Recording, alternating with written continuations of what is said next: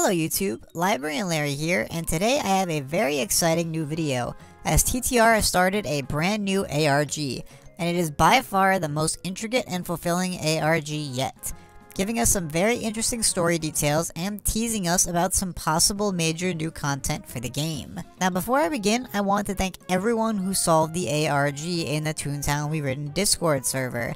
Without all of you, there's no way we would have been able to figure out all of these puzzles. So to start, we have a very interesting blog post saying that the Cogs have offered to create a peace treaty with the Toons, ending the battles between them once and for all. That being said, the message they sent was illegible and had to be decoded.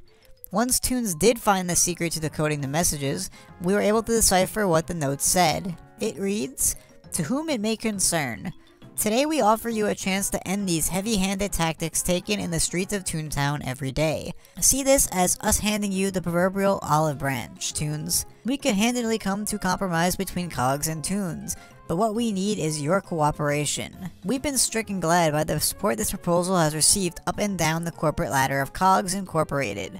All that remains now is for the final handshake. Toontown's written signature agreeing to our terms of truce. We know that the jargon of contracts can be quite a handful for you Toon types, so we'll go ahead and sum it up for you in clear words.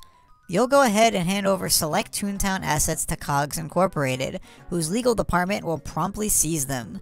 In return, the Toons will be introduced to a new forms of conducting business, improving your oh-so-silly society. Plus, both sides will cease their qualms with one another. Let's shake on it, Toontown. Our cold callers will be in touch whenever is least convenient. That's not the only thing that was in the message, as there was also a link included that led to this image. As you may notice in the list of gags, the ones that have an X next to them are the same gags that have barrels in the Sellbot factory. You have to collect the gags in the factory in a very specific order in order to gain a new speed chat phrase. First you need to go into the paint room and grab the hose barrel and the jelly bean barrel. Next you have to make your way to the front of Stomper Alley, push the box over and grab the ice cream barrel. Then you need to go back to the lobby and grab yourself a treat with the birthday cake barrel found on top of two metal boxes. Next, you have to return to Stomper Alley and grab the feather barrel right next to the ice cream cone you already got before. Next, you're gonna have to make your way to the lava room and grab the jelly bean barrel. Then you make your way back to the paint room and grab the pie barrel, followed by the lipstick barrel. Next we'll be going to the lava room and grabbing the trunk and jelly bean barrels. Then you have to go back to the paint room and get the feather barrel. Finally, you return to the lava room to grab the hose barrel followed by the ice cream cone barrel. And you should get a message saying that you got 13 out of 13 correct. Once you do this, you will gain a new phrase. Where is the Toon resistance? After this, Toons need to go visit Nell and honeydew this, honeydew that on Oak Street. Say the phrase to her and she'll tell you that you already know and that you need to link a few words together. This gave us a link that redirected to a now public video on the Toontown Rewritten YouTube channel. This video is a training video that tells Toons the requirements for joining the Toon Resistance.